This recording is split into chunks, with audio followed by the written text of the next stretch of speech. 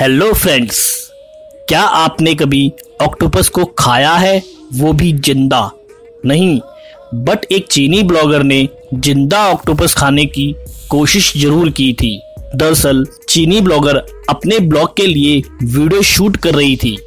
Video को viral करने के लिए ज़िंदा ऑक्टोपस को खा रही थी और अपने व्यूअर्स को बता रही थी कि कितना मुश्किल हो रहा है ज़िंदा ऑक्टोपस को खाना। लेकिन ऑक्टोपस उसके गालों पर हमला कर देता है।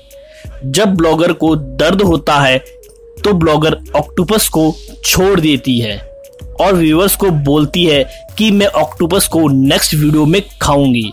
उसके बाद वो अपने फेस पर बाइट का निशान देखती है, जिसके बाद वो रोने लगती है। वैसे ये चीनी ब्लॉगर अपने शो में काफ़ी सी फ़ूड खा चुकी है बट इस बार ऑक्टोपस इसको भारी पड़ गया।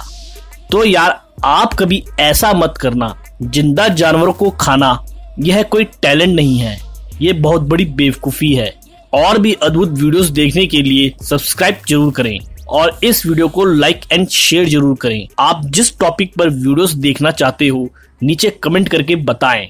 मैं आपके चुने हुए टॉपिक पर वीडियोस लाता रहूँगा। जय हिंद।